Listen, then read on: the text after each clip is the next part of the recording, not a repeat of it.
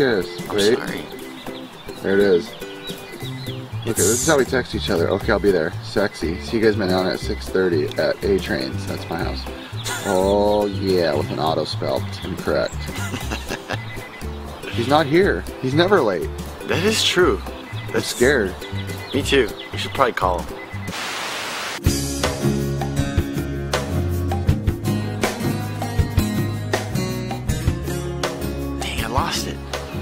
A retro liberty. It's Aaron, Chris, and me. We're the next generation in gaming federation.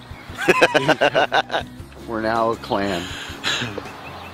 Or it belongs to WWF. Chris, long time. I know, it's been a while. How are This you? is for Nicole's birthday. Oh, card, late thanks, card. Chris. This is for Aaron. Ooh, thank you. First person grab. Thank you, sir. What's up, guys?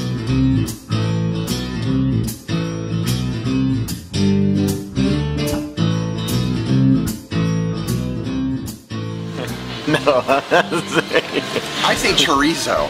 I remember I went I went to Subway I went to Subway one time and I remember walking in, I'm like, hey, do you have any cilantro? And the dumb lady started laughing at me because I called it cilantro. that's, that's, that's, that's good right there. I know, but then the guy behind me was like, "Hey, cilantro, go, go up, gringo. I was like, what the f- are doing? So this morning we didn't eat very long because we haven't been to the swap meet in a while and we kind of want to get there as fast as we can.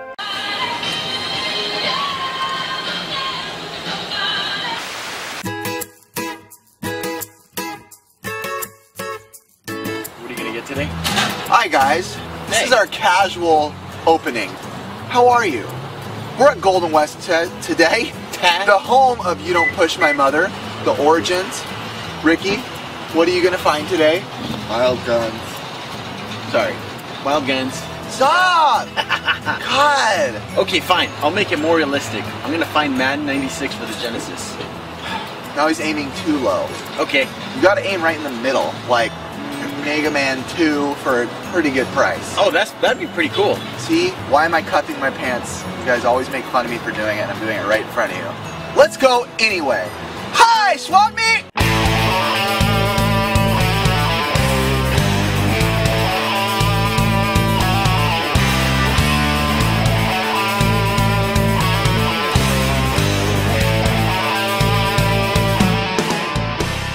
Oh, Are you sure you wanna? Are you sure you wanna go through this again, Ricky? go for it. What if it's four swords again? It's a reseller. Oh, it started, dude. For a second, I was like, dude, holy crap, there's a game in here. Do you remember that in the last episode, guys? When I opened it and got four swords for three dollars. Ricky, how was that moment, by the way? How did you feel when that actually happened? I don't even want to talk about it. Is there gonna be a game? What could be in here? Ah, hey, What is it? I don't know. How much is this? Just like a big disc. I shouldn't have given. I shouldn't have taken the camera. Thank you. Yeah. Have a good day. Good call on that one, Ricky. So, if you guys are wondering, I just got Zelda Four Swords for three dollars. Aaron, I hate you. Because I have the case for it, Why? booklet and all. And then we switched. He, he made me switch cameraman right there. You want another know funny? You know who you should be blaming then? Oh my gosh, there's Mike Burt right behind us. Hey, Mike! Yes. Don't put me in the video. Wh- Why?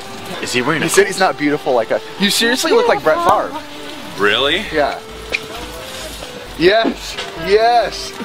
yes. What's up, Mike? Stop. Sorry. So we just ran into our friend Michael Burt and he just got a bunch of good games for a dollar each. Now he's gonna keep a lot for his own personal collection, but the ones he doesn't want, he's gonna sell them to us for the same price he got them for. collection.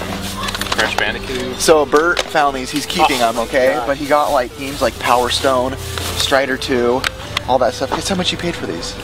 Un dollar. We just missed it. See, this is what you get. This is what the game used to call get caught slipping. You keep trying to get me to say all these dumb things. A minute late. Look, he was only what one aisle in front of us, and look what happened. See, I blame Ricky. I didn't want to go eat. I wanted to hurry. Hey, I That's what- wanted to come here right Just away. kidding. When your friend gets a good deal on games, do you expect him to give you the same good price? Or do you give him extra because you feel bad? Build your Dreamcast collection with a buck a piece, dude. Look at it. Mike buying it for a buck, selling it for a buck. That's a nice gesture. That is very nice. You need to take him up on it and buy everything he just bought for double his price. triple? Yep. Look at normally 30, so you, you get $29 off. I do love me some Dreamcast. See? Get your game cast on, dog. Wake up! Look, doesn't this work? Here, just give me a 10 back. Thank you, sir. That works. Thank Look at you. that. I didn't have to. I didn't have to do anything. I just walked in and Mike helped helped us out. That's how every week should be. Well, the episode's over. See you guys later. Have a good day. April Fool. So after Ricky just got done buying a bunch of games off Burt for a cheap price, we go to another place full of CDs and Ricky gets a bunch more Dreamcast games for a dollar each again. This morning is already turning out freaking fantastic. It's Dreamcast day because I just got some off Burt, and now I got these. Look at this. Tomb Raider, That's a good one. Soul Calibur, That was fun. Wet That's Tricks, a puzzle game. the Disney World Quest This Magical is the one I'm Tour. most excited to see. That's what I said.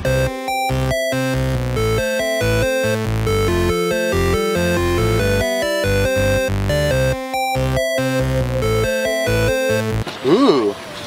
It's like freaking racing, like Diddy Kong Racing. There's Crazy I Taxi need too. crazy taxi. This is this is wonderful. This is great. I love coming with Mike. Mike's helping me out.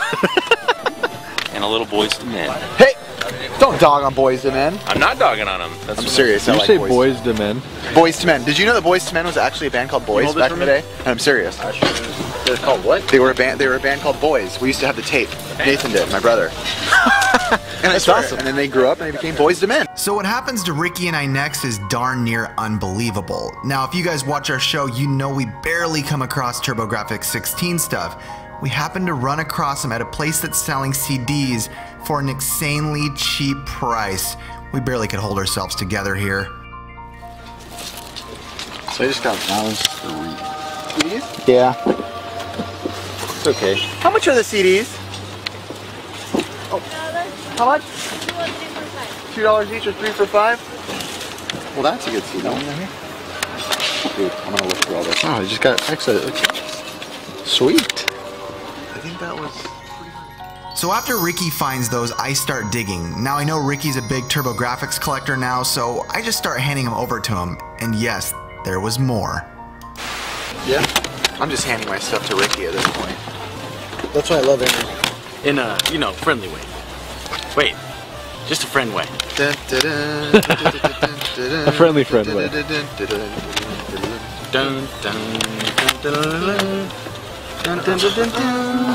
TurboGrafx CD.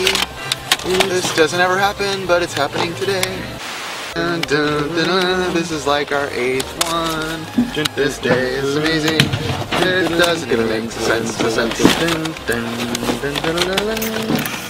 So we barely made it out of there without sounding like a bunch of idiots. We were giggling the whole time, we were whispering to each other about what we were finding, and this just doesn't happen for us. Like I said earlier, if you guys watch our show, we've maybe come across two or three since we've been doing this, and we go to the swap meets a lot, so this was amazing. We're pretty darn thankful. So first, before we show this, we would like to say sorry to NES Complex. Normally he comes, big turbo guy.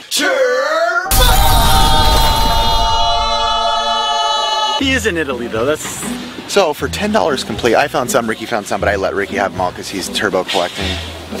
These, Valis 3, Dungeon Explorer.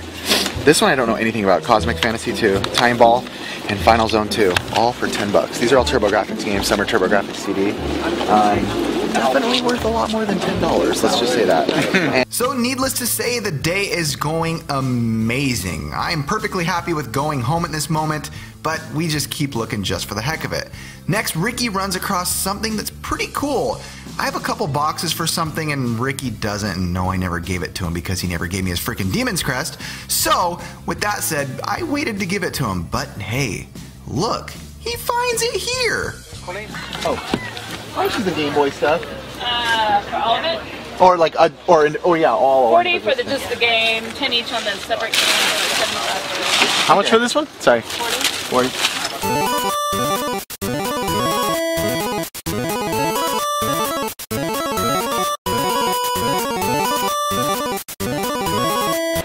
Look at this Game Boy compact carrying it's, case. It's just a rechargeable pack. You can take it out. No, it's a case though. Oh, okay. Yeah? I never see the carrying case. Not that I need it, because I wear um, a fanny pack. That's the cool way to carry stuff nowadays. So, but it's cool. This is clean. I want it. Look at it. You said you could take it out. Let's see. Ooh, styrofoam. Always a good time. Styrofoam. Start, oh, oh yeah, it's clean. Two hours later. Look at this, all old Nintendo Power stuff. Yeah, it's clean. Uh, Game Boy's okay. I'm not going to say anything stupid, Aaron. So now that Ricky finally has his hands on a Game Boy box, and not to mention a near perfect Game Boy box, will he get it? $40 is a little pricey for that, but maybe she'll go down if Ricky can sweet talk her. Ricky, how you gonna do? Would you do 30 for it, by chance? You get a, you get a nice square rated pizza. Got a lot of stuff today so far, and we're carrying around a whole bunch of stuff. But before we go, we see a guy we haven't seen in a long time. It's a reseller who is amazingly cheap, and he's also a fan of YouTube gaming stuff, so that's awesome. Cheers to him. That's what I like to hear. Ooh, box games. Look at this. So for any of you guys who are like real fans, if you want to call it fans and watch, do you remember this guy? Who could forget me? yeah, there you go. He was the, the cool reseller that would knew about, about AVGN and all that. So, Ooh, how much are the boxes? Are I'm sure it depends, but Um, you do a five on all of them. One or two might be missing manual. okay, sweet. Yeah, I'll definitely pick up a couple. Tiger uppercut. I just love these cases. How about for loose? I'll do a buck. Buck. Sweet. How much for wampum? Well, I'll do 50 cents on that one. You're buying. Hey, there you go. Hey, look at that. So, like I said, we remembered this guy being really cheap and giving us really good deals, but this time when we came back, he was even cheaper than I remembered. So, I decided to hand him a bundle of games that I wanted to see what he would do, and he basically threw that price out of the window and just gave me a random, really cheap price. Yes. Ten. Sweet. See, why aren't more people like you? You don't know. The trick is the trick is you have to the good stuff goes on eBay, Yeah, yeah, and then yeah. the the chaff, the chaff comes here. You know, yeah. It's just a return, right? Yeah. Hey, well, the, the chaff's good too, but I mean, it's like you can't you can't be in love with it if you're bringing it to a swap meet. there you go. That's see? true. Um, that's not something you hear a lot either. Someone asked, Pretty cool. "You want a free PlayStation?" Actually, you know what? I got one all down there. You just go ahead and take it. Just grab this. The white box. Yeah, that one. This one? Yeah. The whole box. Nice. Yeah. Are you Are you serious? Why not? You didn't have one here. Now you do. Why aren't more people like him? Seriously. You know, cloning. I used to three talk bucks. bad on it, but maybe cloning wouldn't be such a bad idea. Dude, you know what you look like too? Have you ever seen um, King of Kong? Uh, 70s. It's a doc, it's a documentary on the the um, the championship player. Oh, yeah, the- yeah, yeah, yeah, yeah. You remind me of Steve Wiebe, the guy who's second place for all time best Donkey Kong player. Look at him with his box tubing and his free PlayStation 1. He's, he, he's rolling in style right now. We weren't talking bad, don't worry. I said you were rolling in style with your PS1, your free PS1. Well, even though we got a whole buttload of stuff, we're addicted to video games, so on the way home, we decided to do something we've seen a couple people on YouTube do before. Yeah, I don't know if it's legal or not. We probably shouldn't show it, but whatever. We're going to look in dumpsters behind GameStops for decorations and standees and stuff like that, because you know, we totally need more stuff in our overcrowded game rooms. Here we go. All right, so we are headed to the back of a GameStop um, to go or OK Chief for 420 style and um, see if we can find anything in the dumpster. But the honest truth is, we don't even know which dumpster it is because we've never done this before. Look, there's dumpsters here, and there. I don't know if there's dumpsters over there. I don't know. So we're gonna just at least Oh, there it is. That's gotta be it. Where?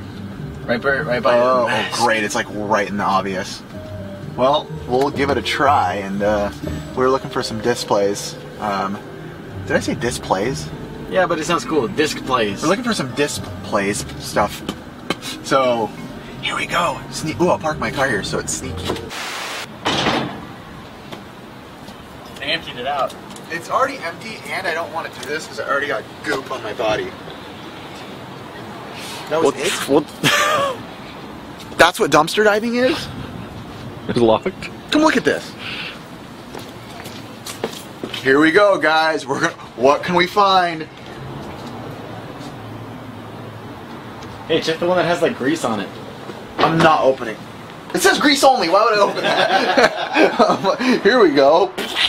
Yeah, um, okay, on to the one on a different one. And if we don't find anything there, this will be our last time doing it. That was fun. I love trash. So after that big failure, we decided to go to another GameStop and guess what our luck was? Locked dumpsters. Great, we can't even get in this time. Well, that was worth it. Eh.